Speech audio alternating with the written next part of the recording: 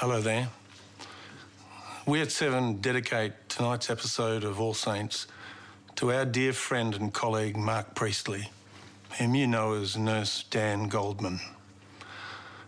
Mark was blessed with a keen intelligence, a ready wit, and a bucket load of talent.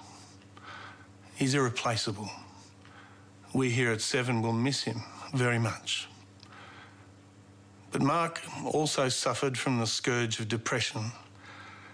And last week, this burden became too much for him to bear. He took his own life. What I want to say to you tonight is that if you're feeling sad and you don't understand why, don't suffer in silence. There's someone who can help. Call Lifeline on 131114. Or if you have a loved one, a member of your family, a friend at work, a colleague, and you think that they may be depressed, you can help them by calling Lifeline on 131114.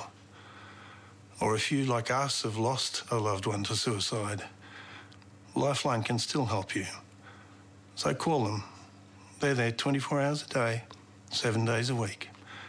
Just call someone who cares. Call Lifeline 131114. Thank you.